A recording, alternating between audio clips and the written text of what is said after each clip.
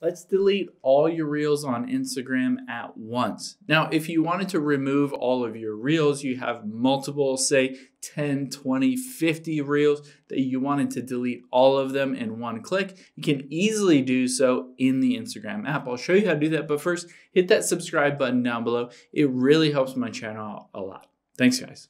So let's hop into Instagram. We'll tap on the profile at the bottom right.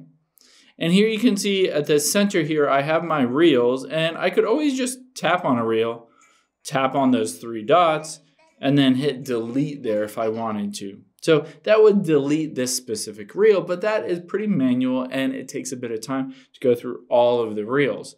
If you wanted to delete them all quickly, there's an easier way. Let's tap on the three lines at the top right and then tap on your activity here and you can choose photos and videos and then reels.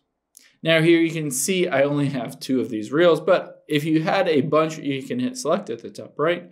And then all you have to do is go through the list, select all of these, and then just hit delete at the very bottom. It makes it really easy to delete all of the reels that you have published. Now keep in mind, this is fully deleting them, so they won't be in your archive, you can't get them back. So keep in mind if you might want one of these reels or multiples of them, you can always go in there and save it before you delete it so you can get it back at any point if you wanted to.